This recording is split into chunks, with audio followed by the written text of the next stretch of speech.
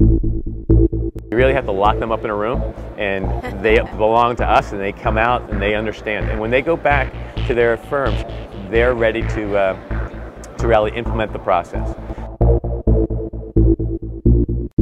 Our values are that our customer success is paramount. We pride ourselves that in four or five one-hour sessions, you can basically, we say become dangerous. And if we, um, we focus on their success, our success will come.